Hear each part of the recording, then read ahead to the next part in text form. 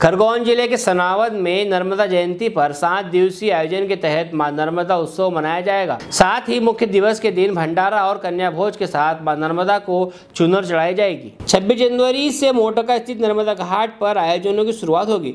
आकर्षक विद्युत सज्जा के साथ प्रतिदिन श्रीमद भागवत महापुराण का आयोजन किया जाएगा। कथावाचक पंडित पंकज शर्मा द्वारा बारह ऐसी चार बजे तक श्रद्धालु रसपान करेंगे। पंडित मुकेश शुक्ला के निर्देशन में पाँच ब्राह्मणों द्वारा देवी पाठ और नर्मदा जयंती से जुड़े हुए आयोजनों का सम्पन्न कराए। सनावत से प्रभु दोगिया की रिपोर्ट?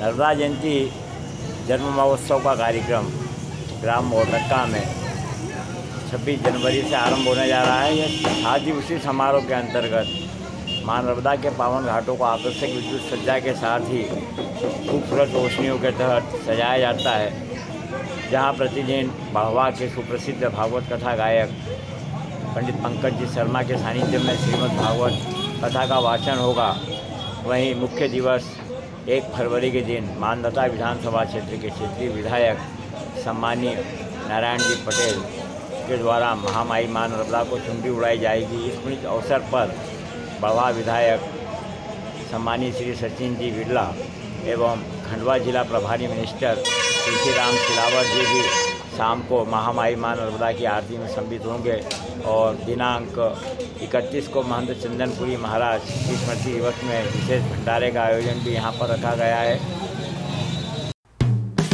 हेलो फ्रेंड्स आप देख रहे हैं हमारा channel S W twenty four news हमारे सारे वीडियो सबसे पहले देखने के लिए आप हमारे चैनल को सब्सक्राइब करें और पास में लगे बेल आइकन को दबाना बिल्कुल भी ना भूलें।